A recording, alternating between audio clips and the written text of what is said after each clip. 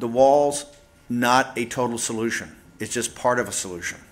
Steve Bannon, el polémico ex asesor de Donald Trump, fue detenido este jueves y acusado de defraudar cientos de miles de dólares de donaciones a una campaña para construir el muro en la frontera con México prometido por el presidente de Estados Unidos.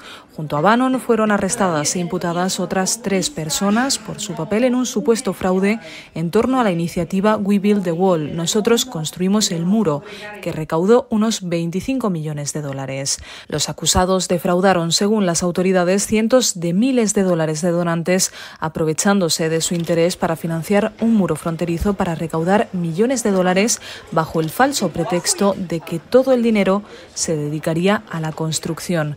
Pero según la Fiscalía, la campaña desvió importantes cantidades de dinero a Brian Colfates, un veterano de la guerra de Irak que fundó la iniciativa y que fue su gran rostro, a pesar de que se aseguró repetidamente a los donantes que éste no recibiría un centavo.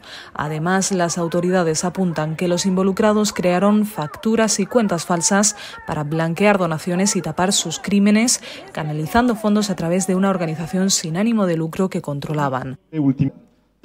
Todos los detenidos están imputados con cargos de conspiración para cometer fraude electrónico y de conspiración para el blanqueo de dinero, dos delitos que pueden acarrear penas máximas de 20 años de cárcel cada uno.